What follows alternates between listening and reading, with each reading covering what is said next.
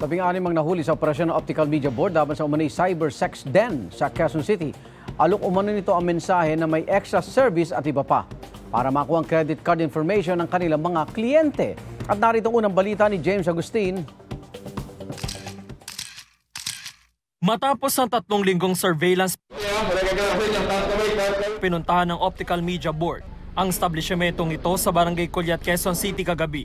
Inabutang nakabukas pa ang mga computer. May mga chatbox at hubad na mga larawan. Hinuli ang labing-anim na empleyado kabilang ang manager.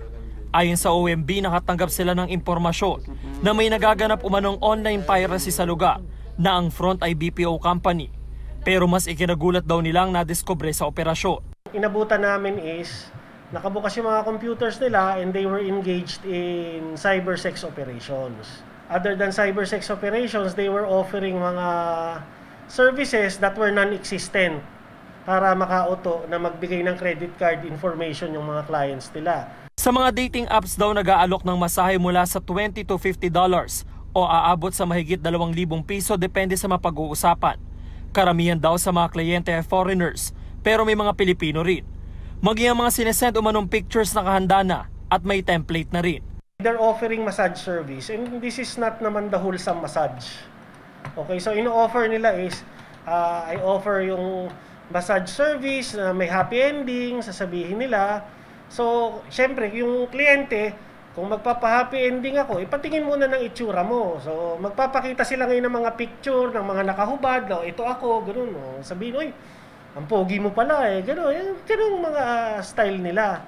So, may element talaga ng parang ah, cyber sex. Dinala sa tanggapan ng OMB ang mga nahuli maging mga kinumpiskang computer units. Inihahanda na ang mga reklamong isasampa laban sa mga nahuli. Ang kanilang abogado nanindigan na wala silang nilabag. Lehitimo raw ang operasyon ng kumpanya.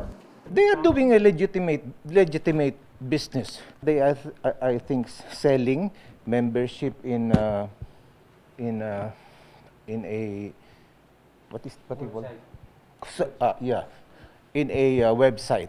That's all. That's all I know. We are uh, confident that they have not committed any violation of the OMB uh, rules or or MB uh, uh, jurisdiction or authority.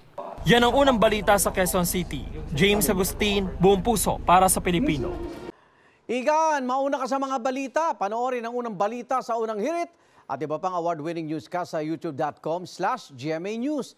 I-click lang ang subscribe button. At sa mga kapuso abroad, maaari kaming masubaybayan sa GMA Pinoy TV at www.gmanews.tv.